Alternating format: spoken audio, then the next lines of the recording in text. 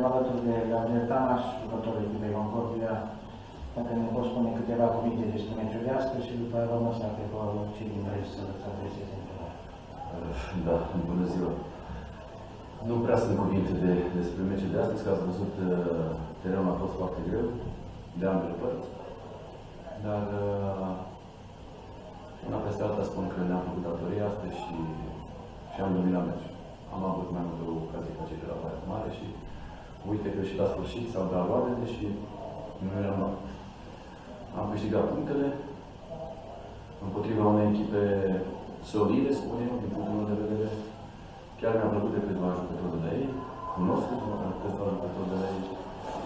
Sper să, să nu aibă probleme pe viitor, pentru că merită să rămână în Victoria este meritată sau consider că un rezultat de egalitate era echitabil pentru amândouă formații? Asta vă las pe dumneavoastră să decideți, pentru că noi am dominat prima reprezentantă, cum ați văzut. Am avut, uh, cred că, 5 cornere, 6 cornere care puteam să, să marcăm.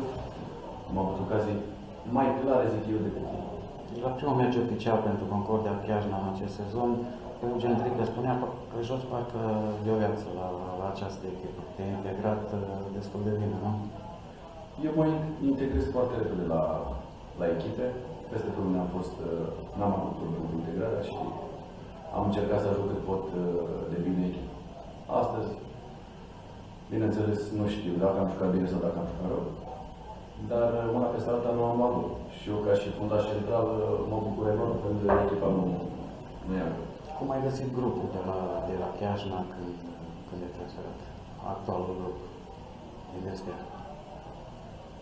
După părerea mea, cum am spus-o și uh, despre cei de la Baia Mare, nu merită să fie pe locul care, care sunt. Și nici Concordia Chiar, dacă am văzut că au uh, jucători foarte talentați, nu merită să fie unde sunt și unde sunt acum. Sunteți la un singur punct de play-off și la 8 puncte de primele două poziții. Aveți și un program relativ uh, lejer cu Ripensia și cu Metalul Globus. Uh, cum vezi bătălia pentru play-off? Nu este programul ușor, pentru că poate și celelalte echipe au spus că venim la Baia Mare și câștigăm foarte ușor, pentru că sunt, uh, sunt pe penultimele locuri.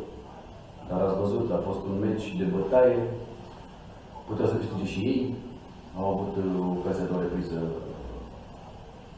cu capul, încă de aminte. Adică a fost un meci care pe care. Nu... Eu când am venit aici am văzut în ce mă bag.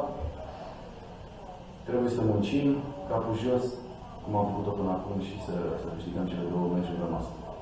După care vom vedea, vom trage linie să vedem unde sunt. Pentru că și cele din față, dacă le vor câștiga, nu ajungem unde. Dinamo s-a vândut în această săptămână. O vezi pe Dinamo pe unul din locurile de play-off? Asta depinde doar de ei. Dacă, dacă nu vor câștiga, nu vor ajunge acolo. Și ce părere ai despre noua tânărat de la Dinamo? Am citit și eu din presă, am văzut, uh, am văzut uh, că a fost vândut uh, clubul Dinamo.